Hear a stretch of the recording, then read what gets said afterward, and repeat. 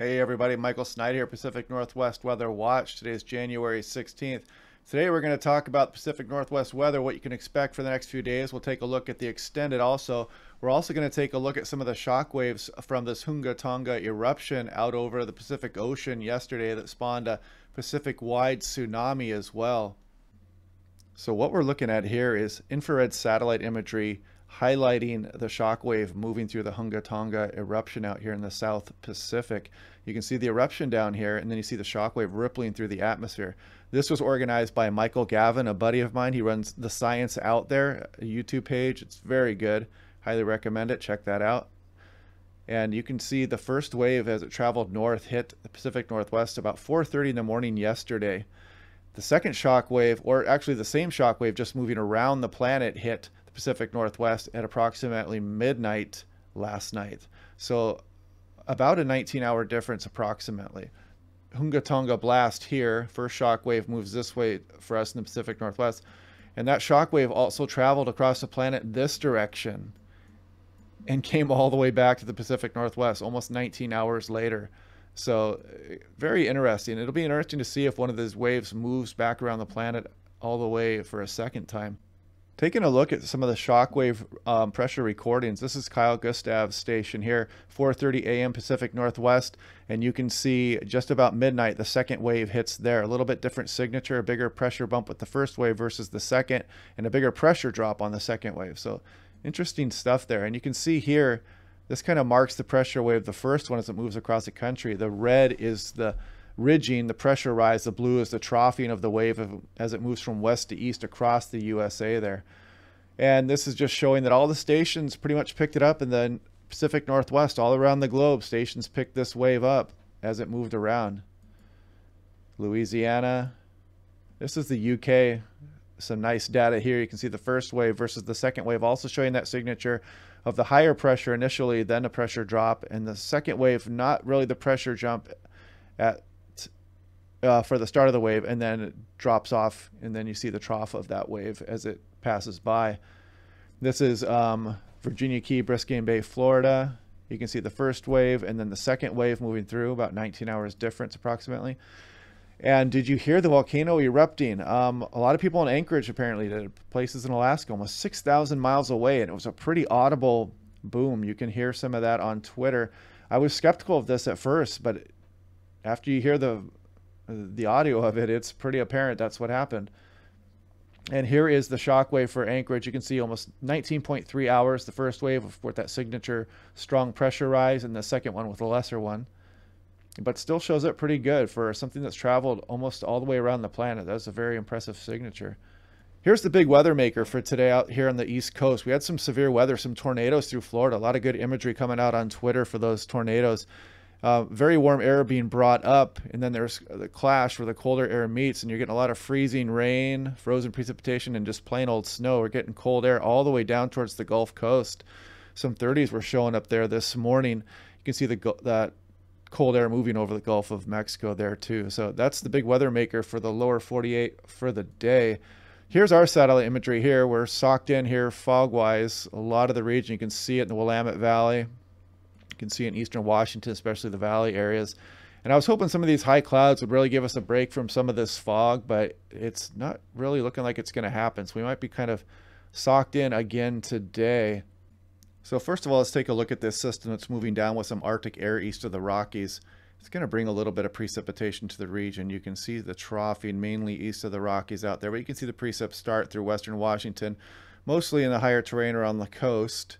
It's going to be snow in most of the areas here, um, except for the lowlands of western Washington. You can see this precipitation showing up in front of that Arctic high as it slides south and eventually will move out of the area. Let's check out some of the snowfall totals with this here too. So putting this into motion, you can see some of the Cascades getting snowfall here you know, a few inches, maybe up to six inches, some of the higher terrain there. You can see some of Idaho there too. So I just wanted to have a heads up. If you guys are traveling out of Washington eastbound through Idaho on I-90, have heads up there for some snowfall potential there. This really starting early Tuesday morning. For the Cascade, starts a little bit quicker on Monday night. And as some Arctic air slides south of the uh, southeast on the east side of the Rockies there. Uh, not too big of a deal, just a, just a heads up. So checking out Seattle, there is a dense fog advisory through most of the Puget Sound. Um, Bellingham doesn't look to be included in that, but it's definitely foggy out there. And let's see if they have a burn off time or if it's supposed to come out at all. Visibility one quarter mile or less in dense fog. It, it, they put out the dense fog until noon today, but I think the fog is probably going to hang out much longer than that in some areas. So checking out Portland, you can see it too. They've got air quality alerts. You know, we get trapped in these valleys here and not a lot of mixing. So when we start getting stagnant air, air quality alert is out, dense fog advisories. And looking at the east side of the states here, you can see we got freezing fog advisories where it's colder and then that moisture is just hanging around and it's freezing onto you know roadways. And it's not as bad as freezing rain event. You're not going to get huge ice accumulations or anything like that. Just be careful of slick roadways or slick walkways when you're out and about. Checking out spokane here too. They mentioned uh, tuesday some light mountain snow. That's the system we looked at a little bit there. And if you can see the dense fog advisories and the freezing fog advisories also also the air stagnation advisory. So you know heads up there. And New day, same story, more fog and ice. Kind of boring with these weather patterns sometimes as we get in here, but you got to go through this sometimes to get back to the active weather. So looking onto the extended here, this is the European. You can see that system sliding down that might bring some snow to the Cascades and portions of the Idaho Panhandle and Montana, and that moves out. And then look at this ridge just building up over us. I mean, this is this is rivaling the huge heat dome there in summer. Only we're going to be on the foggy, cold side of this this time.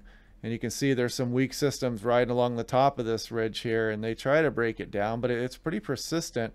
And then later in the area, we start to get some activity there. This is on into late January. This would this would be interesting. So this is something to watch. Some of the signals are pointing to a change coming in late January, early February. So you know, winter weather lovers here in the Pacific Northwest, something to get excited about a bit. You see the ridging setting up here. This is more of a snowy pattern developing for Western Washington, Western Oregon, British Columbia. So it's just something we get to watch here.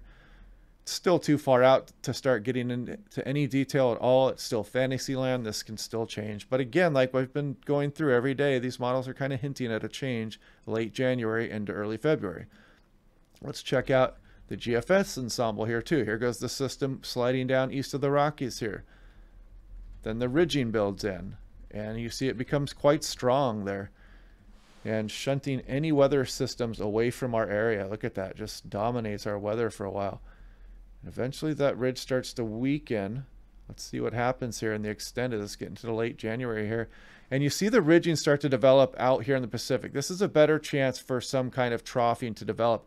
Doesn't take much troughing. It can be very subtle, and we don't need, you know, some Arctic air moves over there, and you get very subtle troughing. and You can get snow events here in Western Washington as long as you have that ridging directing that flow out of the north for us. So a little bit of a signal there too, but not as much as the European.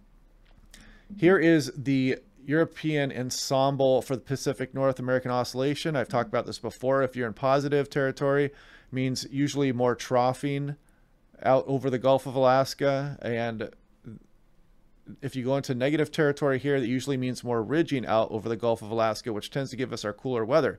So you can see the European hinting at that pattern change later into January into early February. So it's just something to watch at this point. But it gives snow lovers something to look forward to potentially or maybe maybe it'll spawn a windstorm or you know maybe it'll just get us some active weather or at least clean the air out bring some wind in here and get this stagnant air out of here. So hopefully you guys are liking these videos. Keep clicking like subscribe. If you want to help support the page click on the join membership there and the instructions will follow and i will talk to you guys later